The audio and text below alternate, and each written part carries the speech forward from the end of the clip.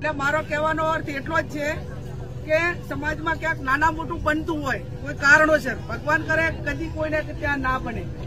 પણ ક્યારેક આવું સમાજના રીત રિવાજ પ્રમાણે દંડની રકમ ગુણદોષના ધોરણે લેવામાં આવે છે.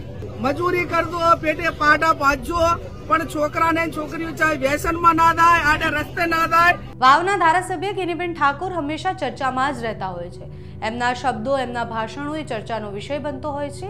ઘણી બધી વાર એ સામાજિક કાર્યક્રમોમાં જાય, ત્યારે એ સમાજની રીતિ રિવાજોની અને બધી જ વાતો કરતા હોય છે. થોડા દિવસ પહેલાં જ એક કાર્યક્રમમાં પહોંચ્યા હતા અને એ કાર્યક્રમમાં તેમને ગામમાં જે શિક્ષણની પરિસ્થિતિ છે એના ઉપર વાત કરી હતી. યુવાનોને સમજાવ્યું હતું કે નશો ન કરવો જોઈએ અને એનાથી દૂર રહેવું જોઈએ. અને શિક્ષણ એકમાત્ર એવું વસ્તુ છે કે જેનાથી આપણે બધા જ ઉપર આવી શકીએ છીએ. તો ગેનીબેને રીતિ રિવાજો પર પણ ઘણું બધું કહ્યું છે. તો ગેનીબેને શું કહ્યું તે સાંભળીએ. એટલે મારો કહેવાનો અર્થ એટલો જ છે કે સમાજમાં ક્યાંક નાના મોટું બનતું હોય, કોઈ કારણોસર, ભગવાન કરે કદી કોઈને ત્યાં ના બને.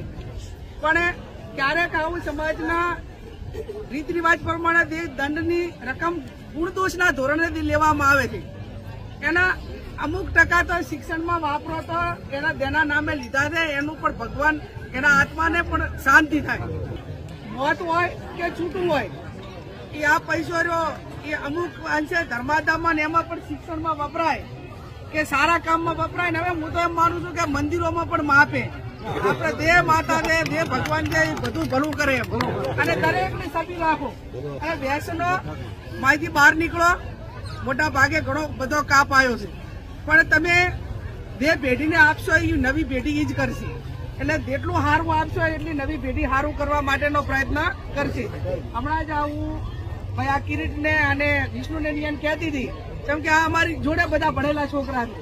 એટલે મેં તરત જ એમને કીધું કીધું, અરે બાર મારી પાછળના ભાગમાં બેઠા મેં જોયા નથી. કેમ કે એક સમય એવો હતો કે એમને ચોવીસ કલાક વિદ્યાર્થી તરીકે જ્યારે જ્યારે સમયગાળો સ્કૂલનો હતો ત્યારે એકાબીજા ભેગા એટલે એક સંસ્કારી સમાજ અને સંસ્કારી પરિવારો કઈ રીતે ઓલા થાય એ એના માટે કરીને જે નવી પેઢી જેટલું આવશે એટલું ખૂબ સારું.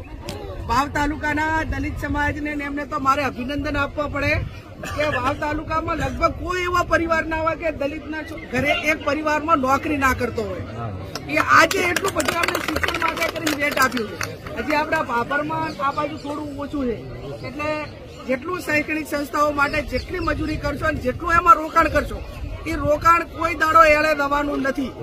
મજૂરી કરજો પેટે પાટા પાજો પણ છોકરાને છોકરીઓ ચાહે વ્યસનમાં ના થાય આડે રસ્તે ના થાય અને આ જે કાંઈ એને એક પ્રકારની અંધશ્રદ્ધાઓ કે બધીઓ આમાંથી નીકળશે તો ઓટોમેટિક બધું થઈ જશે. જેટલી મા બાપે દીકરા દીકરીની ખબર, એ આડે રસ્તે ના થાય એટલી જ રાખવાની છે. બાકીનું તો એના સમજણ આવશે. કેમ કે આ બધું અણહમજણમાં થતું હોય છે. અને અણહમજણનો સમય જતો રહ્યો તો ઓટોમેટિક જવાબદાર થઈ જાય ત્યારે બધું સારું જ કરે છે.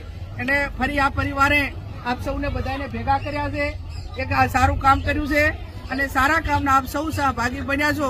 એ બદલ આપ સૌ મહેમાનોનો આભાર માનું છું.